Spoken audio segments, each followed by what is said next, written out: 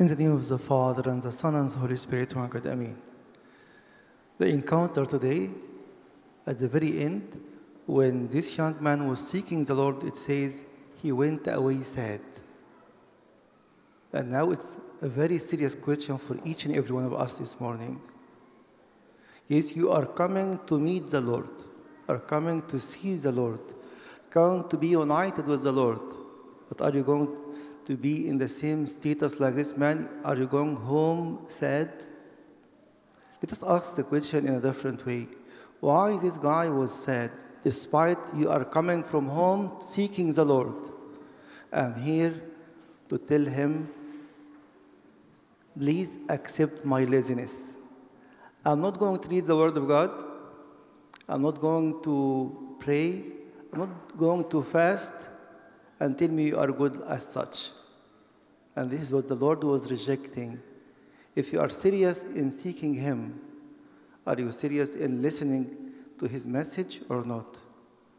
In many occasions, we are here to force the Lord to do our will, despite we say it many times in the Lord's Prayer, Thy will be done. But I'm here to tell you from now on, my will be done. This guy went home sad, unfortunately. But the Lord doesn't want anyone of us to go sad once more. If I'm coming to dictate my own opinions, not even only on the Lord, in the church, and everything around me, and then I'm going home sad. Yes, you'll go home sad.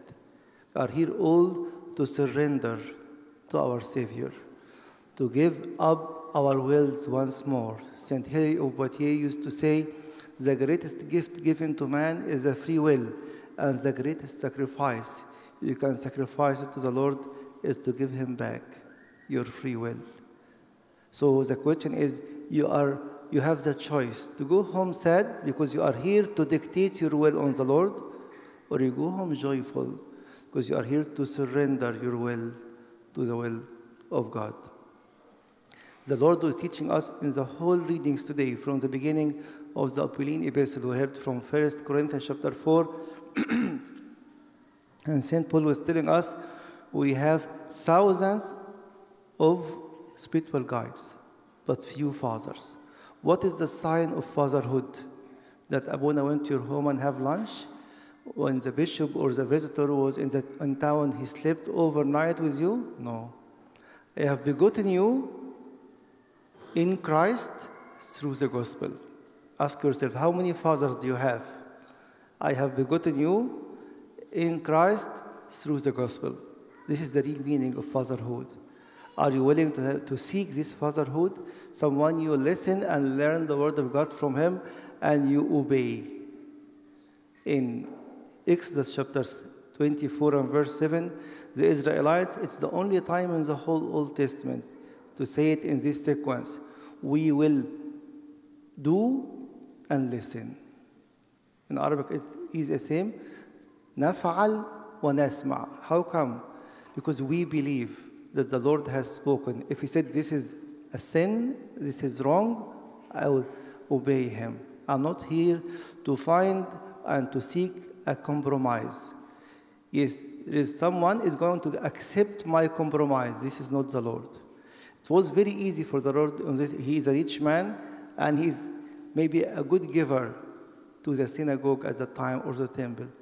But the Lord was here to declare the truth and only the truth.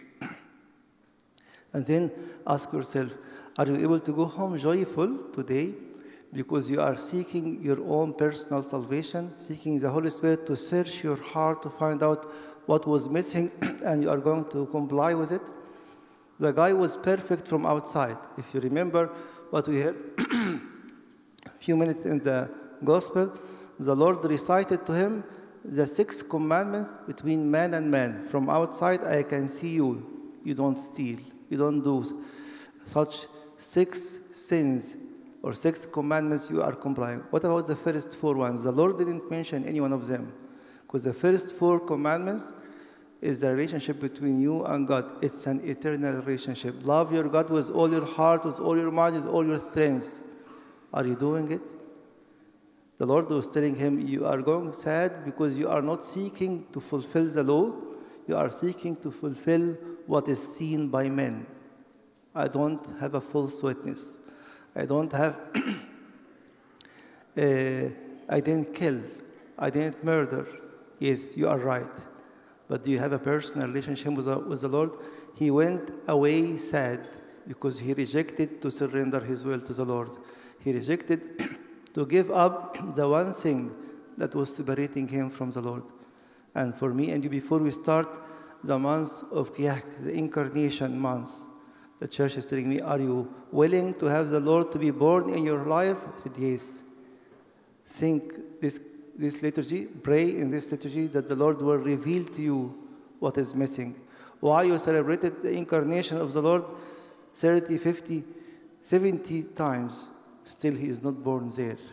Yes, I am baptized, but I am not enjoying this surrender. In many occasions, in, in sometimes in confessions, people coming and accusing God, no change in my life. Despite I attend every liturgy, I confess regularly, yes. What did you hear in your confession? What did you confess? I don't read the Bible. Just please read your Bible. I don't pray. Please pray. After a month or a year, you are the same person because you did nothing. And the church is telling us, and the Lord is saying, it's not by admitting what you have done wrong, it's by repenting, by changing your attitude. You stopped what was wrong and you restarted the new life. Many coming to church, unfortunately, and go home sad like this man because I'm here not to listen, not to obey, but I'm here to be in an atmosphere of a religious company, which is not saving at all. Salvation is through obedience. The Lord was telling us in the book of Acts, chapter 5, verse 32, and we testify that He gives the Holy Spirit to those who obey Him, not those who are watching Him, not those who are listening to many sermons, those who are acting and obeying to the voice of the Lord. I pray in the coming few minutes, yes, in the end we have to be united with the Lord, not as a habit, but as the reality I am here to obey. I am here to surrender against my own will, because I know my will is I would like to keep everything as it is. The Lord is telling us it's time to wake up, to be uh, wakeful enough to receive the incarnated Word of God. We are starting this coming Saturday the midnight praise of Kiyak. I pray that most of us, if not all of us, will attend at least one Saturday or the four Saturdays. Not because we want to be attendees of the church, because we would like to enjoy going home joyful. We surrender our wills for you and to you and to you alone. It's a time also of repentance. You are here in the church. I heard it even in many confessions قطعت رجله من الكنيسة أو قطعت رجلها من الكنيسة Are you here to do it? Are you here to, do you feel you're going to go home joyful or sad?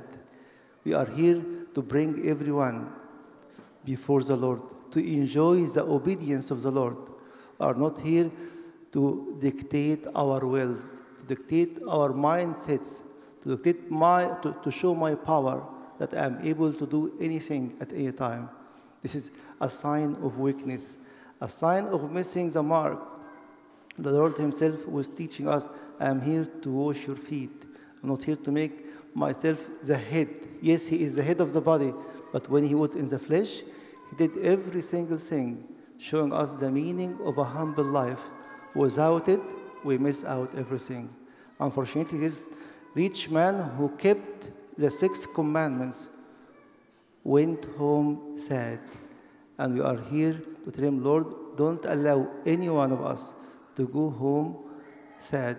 We are here to receive your joy through obedience, to surrender, through full submission to your will, and cleansing our hearts and taking real actions towards the direction of life. May the glory of Lord Jesus Christ be with you from now and forever and ever. Amen.